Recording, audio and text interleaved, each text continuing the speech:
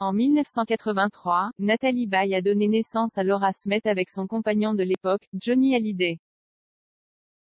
Il n'y a qu'à observer leur manière de poser ensemble devant les photographes pour comprendre la belle complicité qui les lie.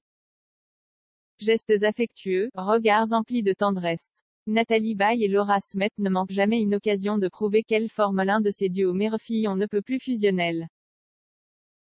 Il faut dire qu'avec la naissance de la sœur de David Hallyday, en 1983, Nathalie Baye a découvert les joies de la maternité pour la première fois.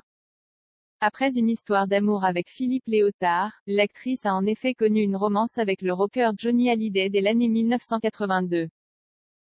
Une idylle passionnelle qui ne dure néanmoins pas, ils choisissent de prendre des chemins différents alors que Laura n'a que deux ans, mais qui n'entachent en rien les liens qui les unissent.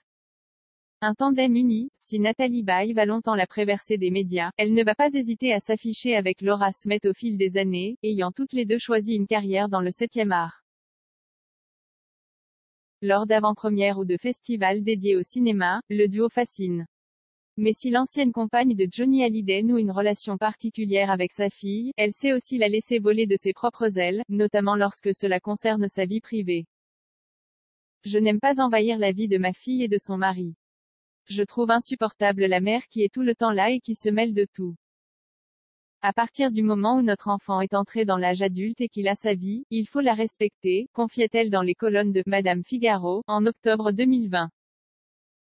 Cette année-là, Laura Smet venait en effet de donner naissance à son premier enfant avec son époux Raphaël Lancret-Javal. À l'occasion de ses 74 ans, retour en images sur les plus belles apparitions de Nathalie Baye avec sa fille Laura Smet.